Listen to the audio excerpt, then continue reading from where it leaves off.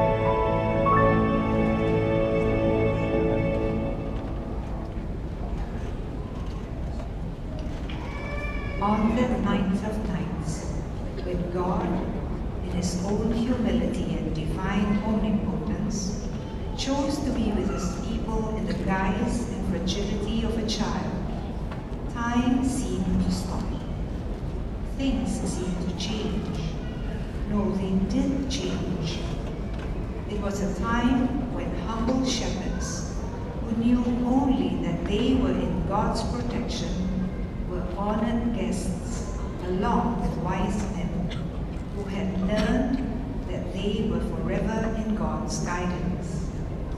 These men, kneeling in front of the mother and watched by the earthly father, gave homage to the child who was their savior and creator, who was, by his mere presence, the fulfillment of a promise made to man by an ever-loving God the Father.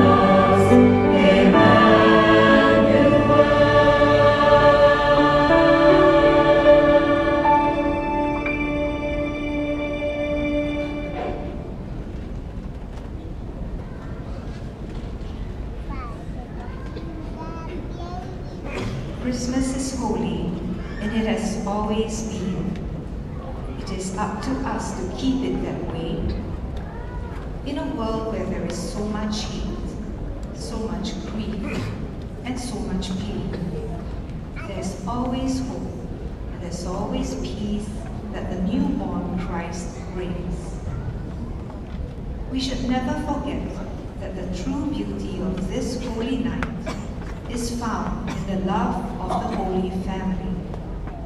Mother Mary, Saint Joseph, the baby Jesus, and our Heavenly Father who put all this together. Indeed, there's so much to be thankful for.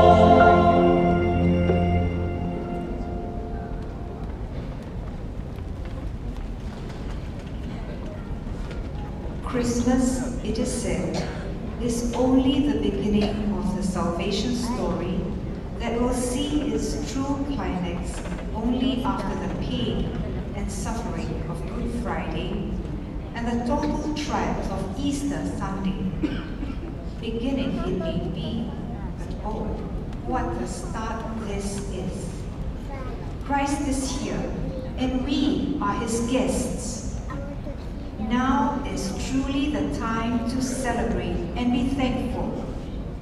The Lord our God, our King and our hope is here. For through his birth, this gift of heaven, God provided a way for mankind to fall into the arms of the holy and loving God. So let us rejoice and be glad, for peace truly come.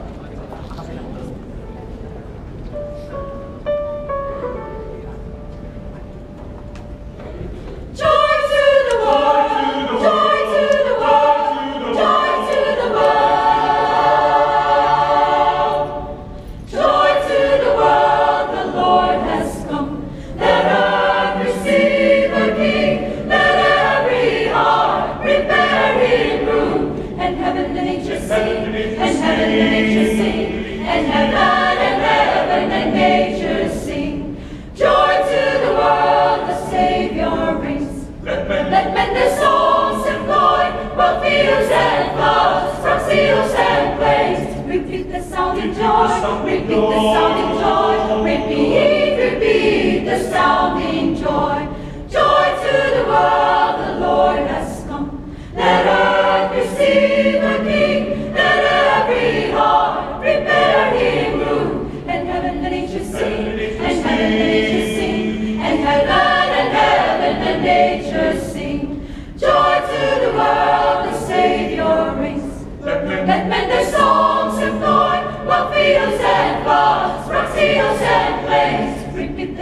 repeat the song in joy, repeat, repeat the song.